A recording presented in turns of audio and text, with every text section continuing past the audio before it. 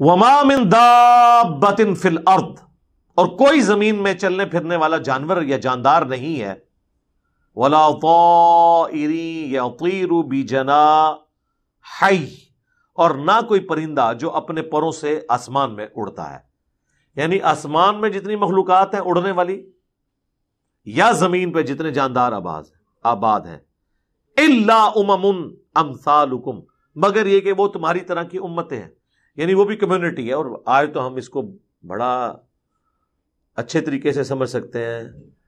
यानी चिंटियाँ हैं, उनका अपना एक जहान है, तितलियों का अपना जहान है, परिंदों का अपना जहान है, पापों का अपना जहान है।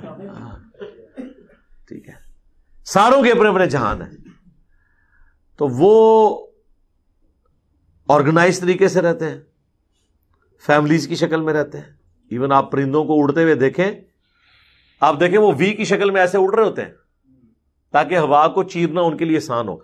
और एक परिंदे के पीछे दूसरा परिंदा होता है, जो अगले वाले ने मेहनत की है तो वो थोड़ा सा एयर का जो वो फ्लो अचीव हुआ है ना, आसानी के लिए, वो पिछले वाले को ट्रांसफ़र होता है।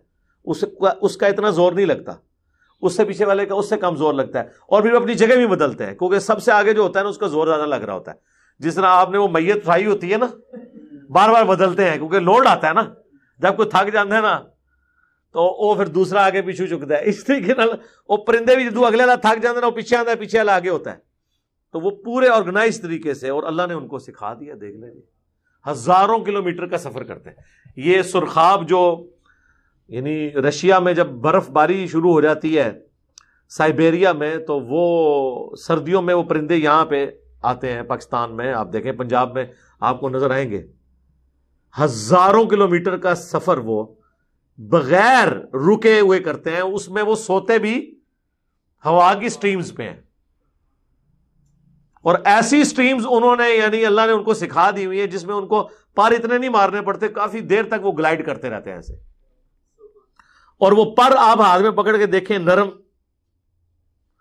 एक बोइंग जहाज़ के पर है उसको तो उड़ाने के लिए उसकी मेंटेनेंस करनी पड़ती है, उस पर रंग करना पड़ता है, उसके रिविट्स देखने पड़ते हैं। आठ हज़ार किलोमीटर के बाद दोबारा से उसमें फ्यूल डालना पड़ जाता है। और ये जनाब एक परिंदा है, सोता भी हवा में है। खाने पीने की भी ज़रूरत नहीं पड़ती, वो मुसलसल इसी तरीके से चलता रहता है।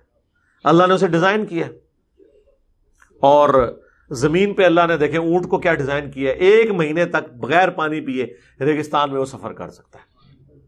पानी पीने की ज़रूरत ही नहीं। उसने स्टोर किया हुआ अंदर। और ये नहीं है कि उसने कोई टैंकियाँ स्टोर की बस जितना उसने थोड़ा बहुत उसको यूज़ है, वो करता है। उसको डिज़ाइन अल्लाह ने उसके लिए किया तो अल्लाह तला मारा ये सब के सब उम्मतें हैं इनके अपने अपने, यानी कम्युनिटीज में रहती हैं, और इंसान भी उनमें से एक है। सबको अल्लाह ने पैदा किया मा फर्रतना फिल किताब इमिन शई और हमने अपनी किताब, यानी लोहे महफूज में किसी चीज़ को नज़रअंदाज नहीं किया हुआ। सुम्मा इला रबिम युहशरून और फिर इसके बाद सब के सब उठाए जाएँगे अपने रब के हुजूर। चाहे इंसान है, जिन है, जानवर है, सब अल्लाह के हजूर पेश होंगे। हती कि सही मुस्लिम में हदीस है कि दुनिया में अगर किसी सींग वाली बकरी ने बगैर सींग वाली बकरी को मारा हुआ तो क़्यामत के दिन अल्लाह ताला उनको भी ज़िंदा करके सींग वाली बकरी के सींग गायब करेगा और बगैर सींग वाली को सींग देगा कि आज तू बदला उतार। मुझे बताएँ, जो अल्लाह इतना अदल कर रहा है जानवरों में, इंसानों ने कहा उम्मीद लगाई हुई है कि वो किसी के साथ ज्यादती करेंगे और बच जाएँगे आखिरत में?